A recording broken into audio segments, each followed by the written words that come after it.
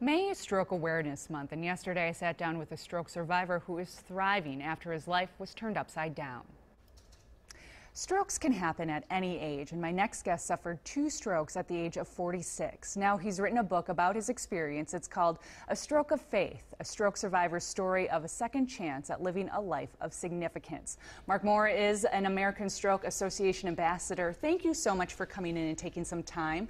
So tell me about this experience. At age 46, you go through a life-changing event. Well, thank you very much for having me this morning, Rachel. And yes, at age of 46, the Saturday before Mother's Day, I suffered my first stroke. While I was still in the hospital, the Monday after Mother's Day, I suffered a second stroke.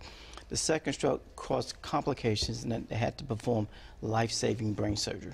Wow. So talk to me about how you were, how you were living before. Healthy, active? Yes, I was healthy and active. As a matter of fact, the Saturday, the Thursday before that Saturday, as I'd been doing every day for five years. I played basketball for two hours with, with 20 of my closest friends um, uh, and exercised, ate well. You know, I was healthy. Um, as a matter of fact, because I was healthy, I think it helped in the recovery because I was relatively healthy to speak.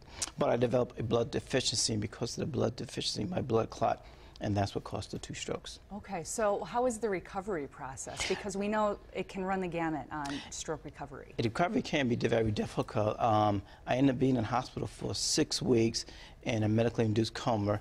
And after I finished the six weeks hospitalization, I found myself with, um, I couldn't walk. Um, I had significant weakness on the left side and I lost peripheral vision on the left side. So it, it was, it's a long, it's a long, difficult process ended up having to go through two months of rehabilitation in order to completely recover physical therapy, speech therapy, and occupational therapy.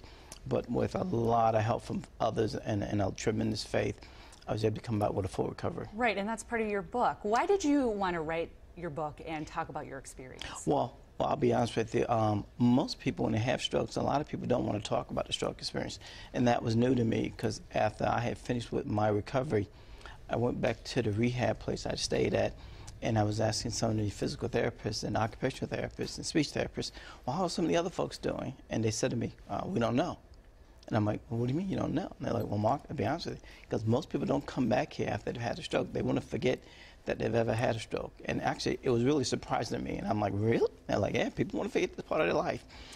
I chose I didn't want to forget the part of my life. And as I went through this process and realized that I had been tremendous, tremendously blessed with a full recovery, I wanted to really help others to come to the realization that, you know, you could suffer two strokes and have major brain surgery and you, and you could still have a full recovery, have a wonderful life. Right, and you've actually done quite a bit since. That's correct. What, what are you, how are you staying active?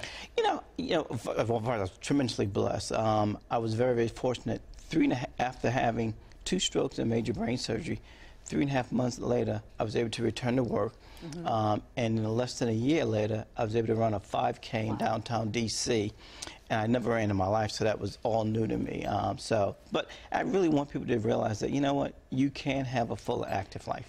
Wow. Well, hopefully people read your book and get some inspiration and show that you really can be healthy and active even after stroke. It doesn't have to define that, you. That is correct. Life doesn't change. All right, and where can people get this book? Um, if, uh, actually, you can buy the book anywhere. Okay. Um, anywhere books are sold. Um, and if they want to know more about what I'm doing, they go to my website, astrokeoffaith.com. Okay, and we'll have all that information on our website, wcco.com. Thank you so much for coming in and sharing your story. Really appreciate it. Let's